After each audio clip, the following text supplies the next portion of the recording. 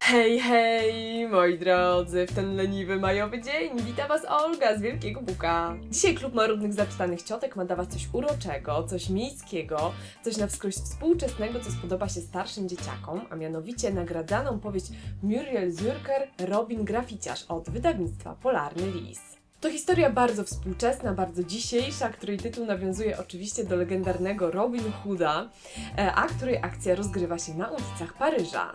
Za chwilkę poznacie Robina Graficiarza, a potem dorzucę Wam jeszcze trzy inne tytuły dla starszych dzieciaków na dokładkę.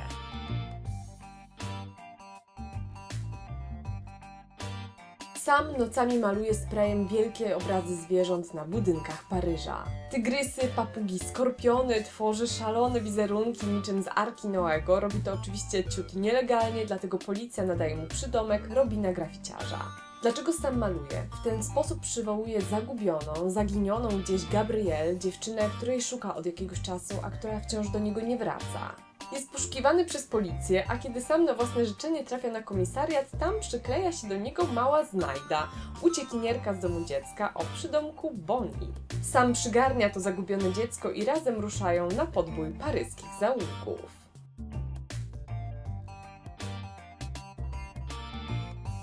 Paryż u Muriel Zurker niczym nie przypomina tego ekskluzywnego miasta świateł znanego z komedii romantycznych.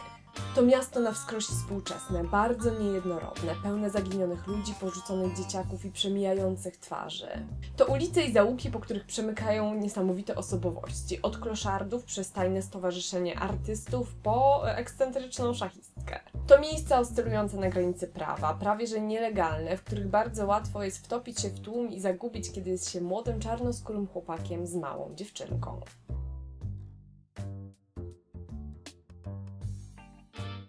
Robin Graficiarz to dziwna miejscami niesamowita historia, która opiera się na dość odrealnionej wizji rzeczywistości, w której nie wszystko jest do końca normalne. Oczywiście służy to samej opowieści, która jest tak naprawdę historią śmierci i tęsknoty, ale także przyjaźni i dobra, które kryje się w najmniej oczekiwanych miejscach, w najmniej oczekiwanych ludziach.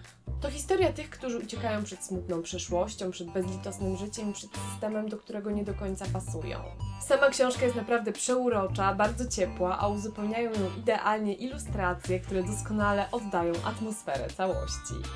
Robina Graficiarza polecam tak dla starszych dzieciaków właśnie, tak 12 lat do przodu, e, tak mniej więcej od końca podstawówki do liceum.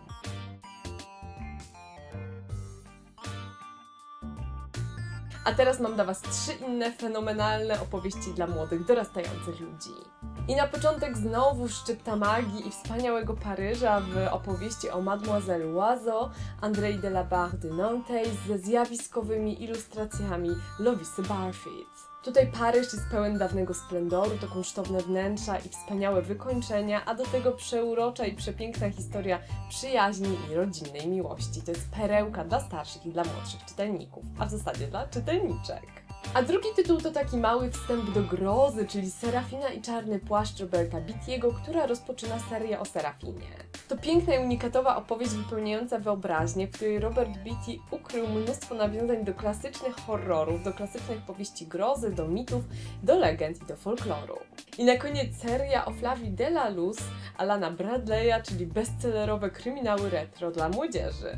A w nich ekscentryczna mała dziewczynka z brytyjskiej prowincji, mała detektywka o obsesji śmierci i brudne sekrety dorosłych. Za możliwość zrecenzowania Robina Graficiarza Muriel Zurker raz jeszcze dziękuję wydawnictwu Polarny List. Was oczywiście zapraszam na bloga, gdzie jeszcze więcej poczytacie o tej powieści dla starszych dzieciaków.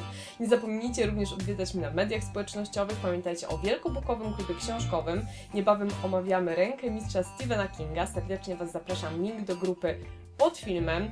Pamiętajcie, żeby klikać dzwoneczek, dlatego że wtedy będziecie dostawać powiadomienia o nowych filmach, a my widzimy się już niebawem. Do zobaczenia, pa pa!